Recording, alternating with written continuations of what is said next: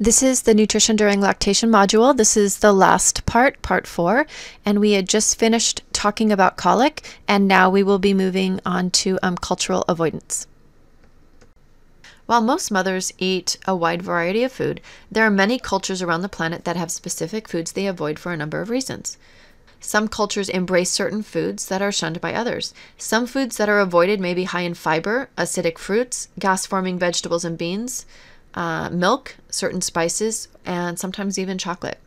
Some others believe that certain foods affect her baby negatively, and it's fine to restrict or omit a certain food for, you know, a certain period of time, and they can usually be resumed when culturally it's appropriate for them. Again, we're talking about, you know, very specific foods, not eliminating entire food groups.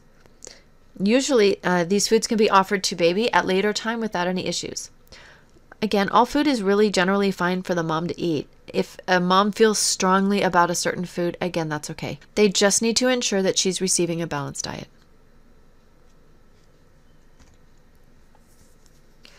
Studies demonstrate that children have increased acceptance of foods later in life when eaten by their lactating moms. And this, this also comes into play when we're looking at issues um, like alcohol the flavor of foods and drinks do seep into breast milk, and studies have found that breastfed infants breastfeed longer when moms have diets high in garlic or vanilla. So it's just kind of a fun fact to keep in mind. New moms everywhere are in search of natural ways to boost milk supply. Current trends in maternal health such as the increasing rates of obesity, delayed age at childbearing, and the high rates of C sections, um, are all considerations. And these all lead to delayed lactogenesis. Women who are not enjoying um, breastfeeding success may seek out ways to induce lactation or may seek out ways to increase the quantity of her breast milk. And they may turn to galactagogues or other lactogenic foods. And a galactagogue is an herb that is thought to help increase breast milk production in nursing moms. Every culture has them. There are no studies to indicate that they're effective, and we've mentioned before that many moms will, in the interest in pursuing optimal nutrition, try many, many things. And some things they try are good, and some things that you know they try are not good. So many herbs and supplements are in fact unsafe, or they may mask the symptoms of a legitimate condition or illness. There are two herbs that are commonly thought to be lactogenic. Some women may find these helpful and some may not. And keep in mind that there's something called the placebo effect. The placebo effect is a beneficial effect produced by a placebo drug or treatment that can't be attributed to the properties of the placebo itself, and therefore must be due to the patient's belief in that treatment. So, clinically, it you know the drug or the treatment or the herb doesn't really have any way to fix what's going on but just the pure belief in the ability of that um, you know constituent to improve lactation or improve the quantity of lactation is in itself enough to boost milk supply. Again most cases of insufficient milk supply are due to insufficient or ineffective breastfeeding for example, fenugreek is believed to raise maternal prolactin levels. If a mom's prolactin levels are generally normal, fenugreek will not help, nor will any other medication help. If a mom's prolactin levels are normal, they're normal. Moringa is in the same category. Again, moms should really be encouraged, and counseling really does need to address effective breastfeeding practices. So your text does list www.lowmilksupply.org as a reliable source to determine whether or not a galactagogue may be appropriate. Again, moms should always inform, you know, their physician as well as the baby's physician about what they're taking. Same thing here. Any herbs, teas, or home remedies should be discussed with a healthcare provider. As mentioned earlier, some can be toxic and unsafe. Let's look at low carbohydrate diets. So, low carbohydrate diets are very, very popular. Now, a healthy low carbohydrate diet can be compatible with breastfeeding, but there are a few things to consider. Keep in mind there is no official definition of a low carb diet. Most advise curbing or eliminating some or all grains, fruits, legumes, and vegetables. Many people, especially preteens and adolescents, may be particularly interested in trying carbohydrate restricting diets due to the appeal of promised weight loss. Personally, I am wary of any diet, any diet that eliminates or overemphasizes one macronutrient or food groups. Again, experts recommend a little more than about half of the calories consumed should come from carbohydrates. There are many nutritious foods whole grains, fruits, vegetables, non fat milk products, lean milk products um, contain carbohydrates, which are the body's preferred energy source. Carbohydrates are also found in foods such as sugary beverages, candy, and baked goods. They're also found in overly processed foods. Now, limiting those types of carbohydrate containing foods is beneficial, and that may indeed lead to weight loss. Again, parents are role models, and while they may function fine with a low carbohydrate diet, children and teenagers do need carbohydrates from whole grains, fresh fruits, and dairy. Their intake of these food groups is vital to their growth and development, and restricting these foods can make children and teenagers feel sluggish or cranky. Decreasing healthy carbohydrates, popular in some trendy current diet models, that doesn't leave much to eat and it really eliminates a vast number of micronutrients that are critical to health and wellness. Eating fewer carbohydrates may produce weight loss, but including certain carbohydrate containing foods actually helps promote a healthy weight.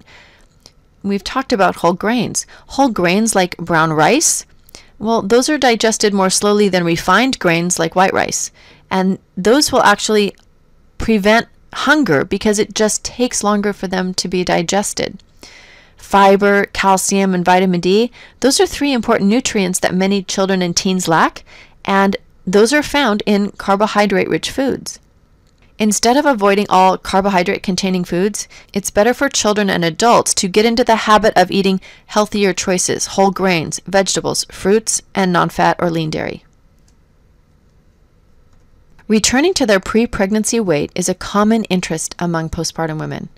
Many women feel societal pressure enforced by images of postpartum celebrities who appear to return to their former figures swiftly and effortlessly, to lose weight and get back into shape quickly after giving birth. With a healthy diet and exercise, much of the weight that women gain during pregnancy will be shed naturally during the first year postpartum. The goal should be gradual weight loss. For all but these women with high or very high pre pregnancy weights, the recommended weight loss after the first month postpartum is around 4.5 pounds a month, or maybe a little bit more. Caloric intake should not fall below 1800 calories a day, and this figure may need to be revised upward on the basis of such consideration of, um, you know, breastfeeding multiples or nutritional status or length of activity. Inadequate caloric intake may increase postpartum fatigue and may have a negative impact on mood.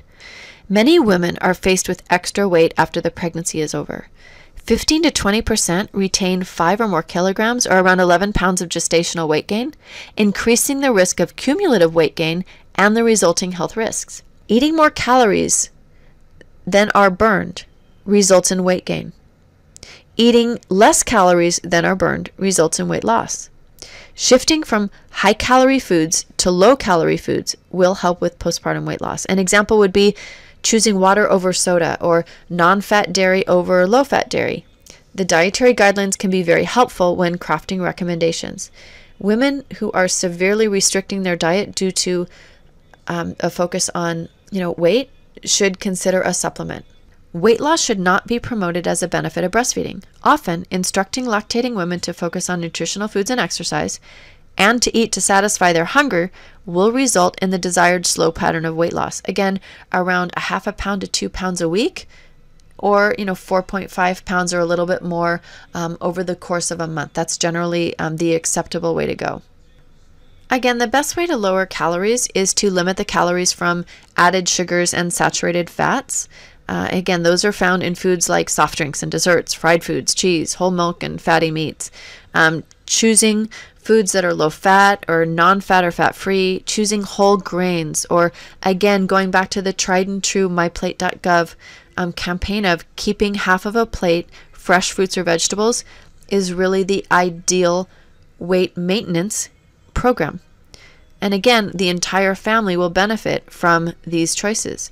If weight loss is happening too quickly and more calories are needed, again, eating a little more from each food group or adding an additional snack should do the trick, not necessarily uh, choosing foods that are, you know, the whole foods, the fried foods. You don't want to go back and choose foods that are less nutritious. You just want to eat a little bit more of the nutritious foods. And if a mom comes to you with an extreme diet, like a liquid diet, or again, diets that eliminate entire food groups, those diets should be avoided. But again, that's my recommendation no matter what stage of life a mom is in, not necessarily because she's breastfeeding. Now, when you look at postpartum weight loss, exercise is key, and exercise should be an ongoing part of any lifestyle. When it comes to postpartum weight loss, there are really two considerations exercise and healthy eating patterns.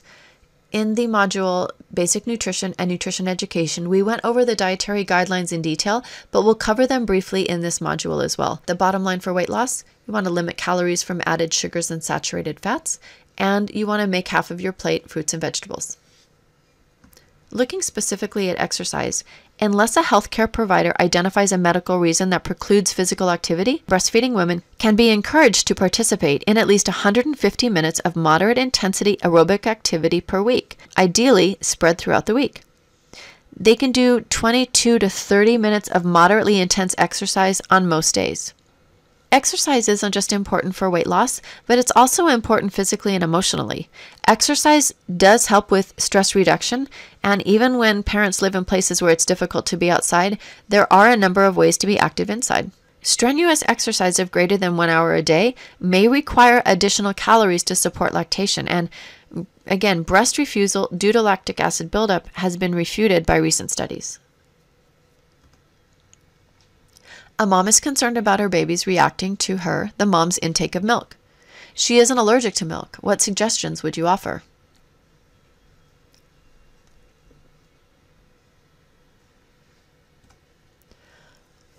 Well, all foods can be enjoyed. If the infant shows a reaction, then you can start to eliminate foods, beginning with milk, wheat, nuts, eggs, etc.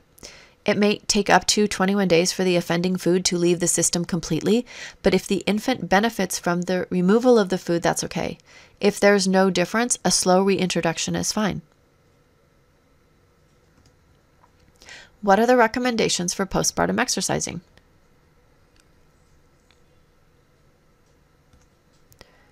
Moms should exercise at least 150 minutes a week of moderate intensity workouts. It can be four to six times a week, anywhere from you know 22 to 30 minutes for each session, and they should begin six to eight weeks postpartum with the release from a doctor.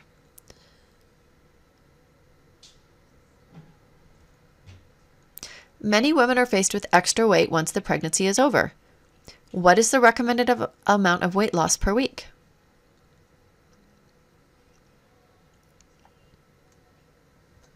So the recommended weight loss per week is around a half a pound to two pounds a week.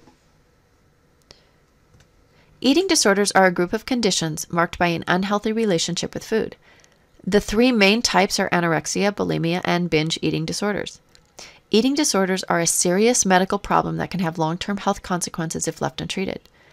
Eating disorders in children and teens can lead to a host of serious physical problems and even death and breast milk quality may be a concern for certain anorexic individuals, specifically in regards to the quantity of water soluble vitamins, lactose, and fat.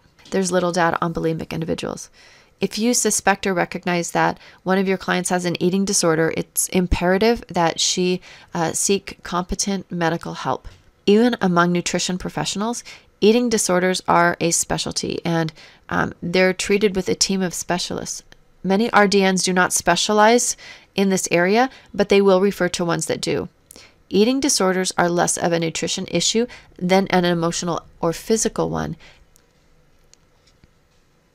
When moms are breastfeeding multiples, they should avoid doubling their nutrient intake. While people do want to avoid excessive weight loss or gain, it is unnecessary and unwise to recommend doubling of anything, be it supplements or other nutrients the mom should be encouraged to uh, follow, you know, meaningful eating patterns and to let her hunger be her guide.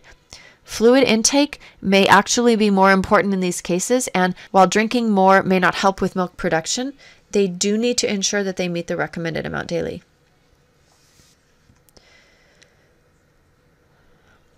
So, I did mention this during um, the pregnancy during nutrition module, but I did want to re emphasize again that around half of the pregnancies in the United States are unplanned. Um, and often women who are breastfeeding one little one can find themselves pregnant with another. And while nutrient needs are increased during the second and third trimesters, um, again, the same thing with breastfeeding multiples. You don't need to double supplements, that's just not indicated.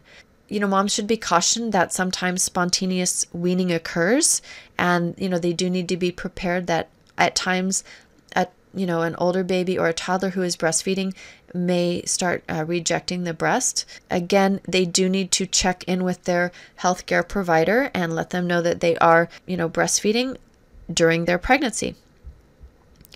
So, factors such as frequency of breastfeeding, age, and the health and condition of the mom and the baby um, should be considered when it comes to breastfeeding during pregnancy. But again, if a mom is healthy, and if she's eating well and all things considered are fine, again, she just follows the regular healthy eating plan, maybe bumping her calories up a little bit in this situation. So, tandem nursing follows the same guidelines. When a woman nurses two children of different ages, it's called tandem nursing, and producing milk for two children does require more calories and nutrients than needed to feed one, just again like breastfeeding multiples. An additional 500 calories a day should be sufficient to meet the demands of extra milk production. High calorie and high nutrient foods and snacks and meals do provide good sources of additional calorie intake. And again, here, what moms need to look at is not necessarily um, increasing any you know any food but making sure that the foods that she is increasing are nutrient dense so foods like, you know, avocados or nuts, nut butters, seeds, seed butters, dried fruits, full fat soy products, bean spreads, and, you know, foods with omega 3 um, fatty acids. Those are all really good selections that will provide additional calories, but also provide additional natural nutrition. Making sure that women are hydrated is also a factor. And again, it's just letting thirst be her guide, making sure that she is you know, considering having an you know a glass of water you know at every meal or snack. And again making sure that she does you know check her you know urination. Is her urine clear or mostly clear throughout the day? Due to high mercury levels what foods should be avoided during pregnancy lactation and early childhood?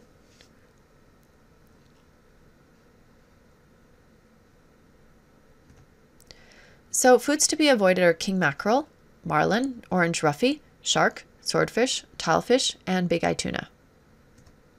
What nutrition recommendations would you give a mom who is tandem breastfeeding?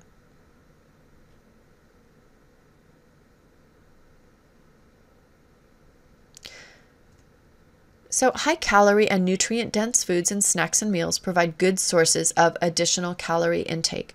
Again, you don't want to go for high fat choices or added sugars. It's the nutrient dense, healthy foods like avocado, nuts and nut butters, seeds and seed butters, dried fruits, full fat soy products, bean spreads, and omega 3 fatty acid sources. And again, making sure mom is hydrated is really important. So, healthy food choices during lactation is important for mom and baby. And again, practical and specific food suggestions are important. Working with pregnant moms to determine specific and practical nutrition goals and helping them understand the whys behind dietary suggestions is key. And this actually helps moms be more compliant. You can provide the most spot on, helpful recommendations, but if they're pr- not practiced, it doesn't matter. Helping families understand that healthy eating is compatible with limited budgets is also really important. Healthy eating patterns offering a strong pathway to positive lactation outcomes can include special diets like vegetarianism. Empowering women to eat well and provide good nutrition for their families is important to future generational well being.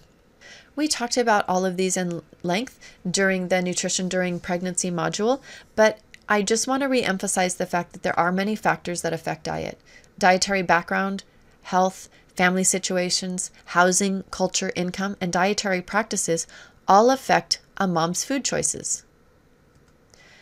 Again, Items like time, priority, cravings, money, availability, culture, emotional comfort, location, and nutrition all come into play when we're looking at a mom's nutritional status. In the pregnancy during nutrition module, we had you plan out a 2400 calorie diet.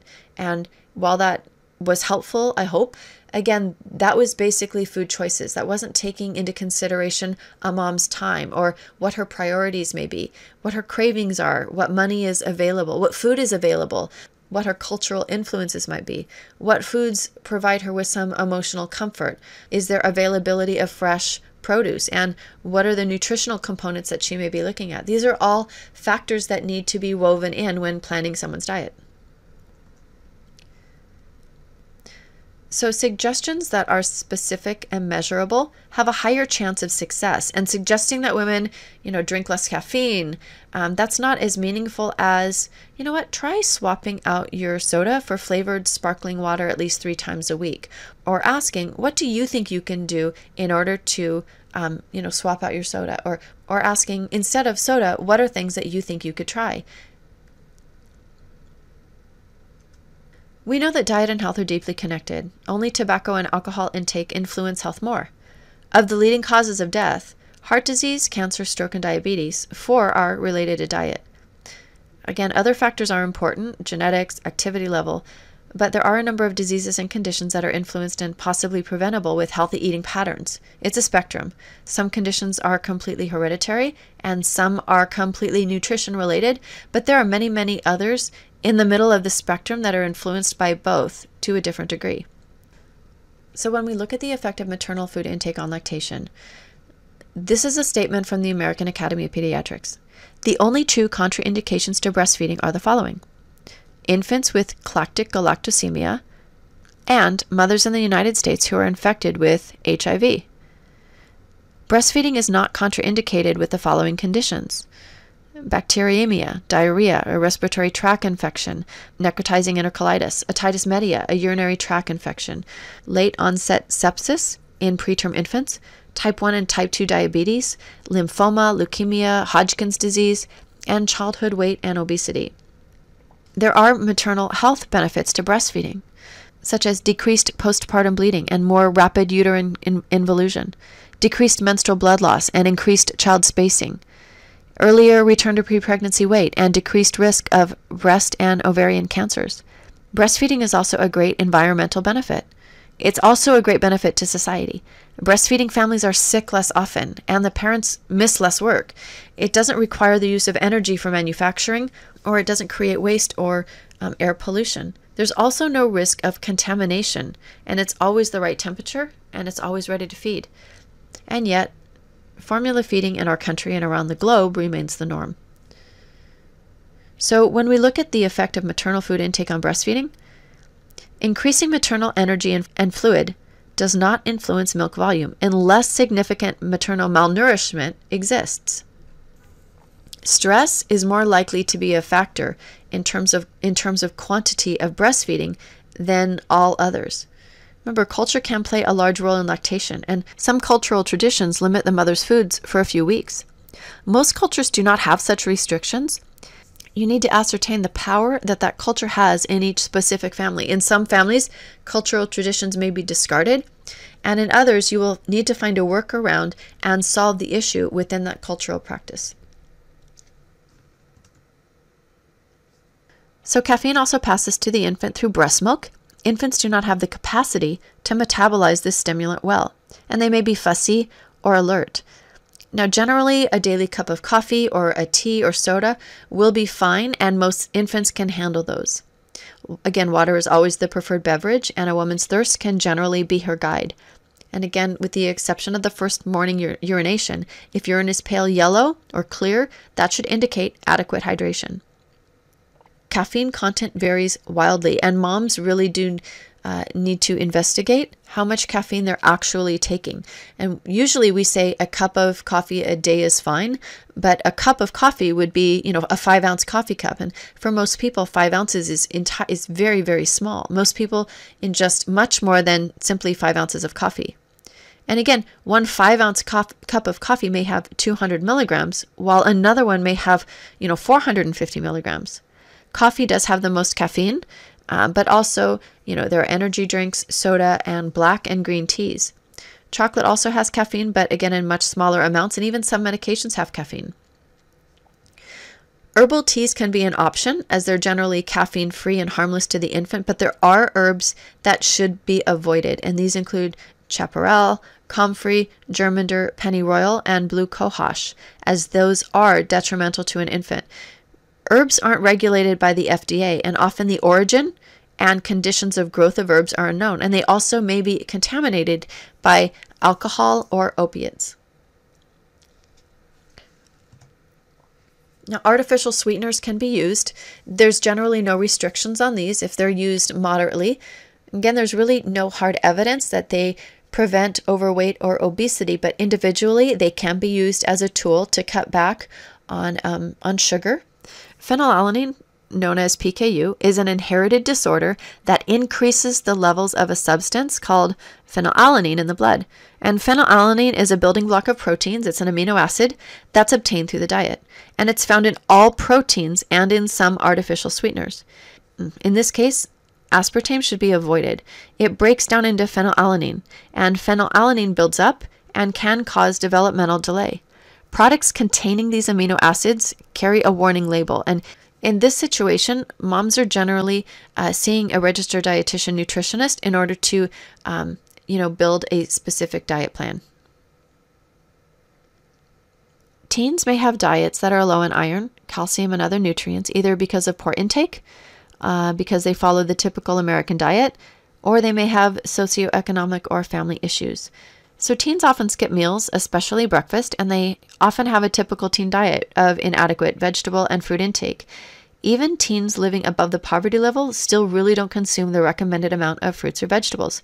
And this is a priority, especially for those teens that are less than four years from the onset of menstruation. Young teens do need to account for their own growth needs. They also need to account for those of their baby. Teens should be encouraged to breastfeed for all of the physiological, and emotional benefits that breastfeeding has to offer for her and the baby. A healthy diet becomes even more important for mom and baby for a successful outcome for both. And the specific nutrients that teens need to look out for are low iron, low folic acid, and low calcium. A breastfeeding mom is worried about drinking too much coffee. What would you tell her?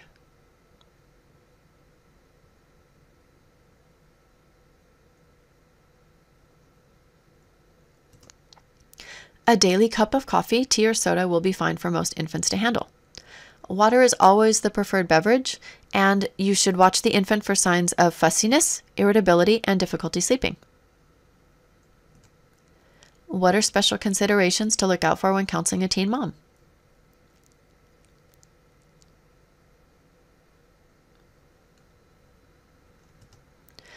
Well, the teen may still be growing. She has a higher risk of nutrient deficiencies like low iron, low folic acid, and low calcium, and she has a higher risk of lack of nutrition knowledge and low vegetable and fruit intake.